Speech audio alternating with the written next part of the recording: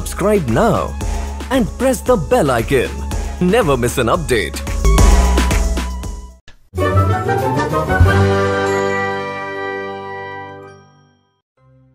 बॉलीवुड के macho man Hrithik Roshan और Dimple girl Deepika Padukone सत्ते पे सत्ता के रीमेक में काम करते नज़र आ सकते हैं बॉलीवुड में चर्चा है कि रोहित शेट्टी और फराह खान मिलकर फ़िल्म सत्ते पे सत्ता का रीमेक बनाने जा रहे हैं सत्ते पे सत्ता में अमिताभ बच्चन और हेमा मालिनी ने मुख्य भूमिका निभाई थी।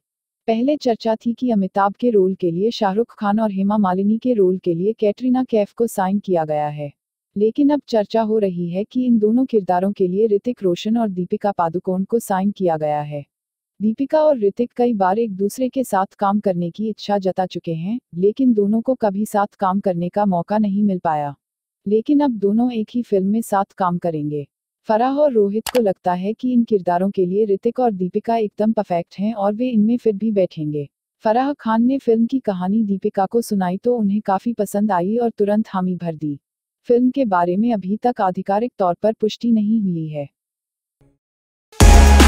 Subscribe now and press the bell icon. Never miss an update.